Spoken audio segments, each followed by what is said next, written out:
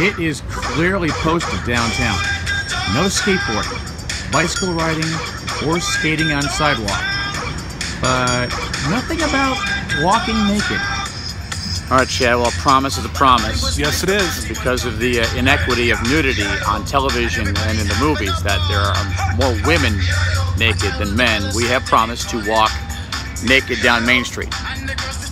Exactly what we're going to do. Your arm's moving. It is because we're actually giving you a bonus. It's actually walking buck and naked today. There's Buck. Say hi, Buck. And there's naked. I see the young people at the balcony, Billy Bongers get. Get back, Ruffy, bash Ruffy, get back, you flea infested mongrel.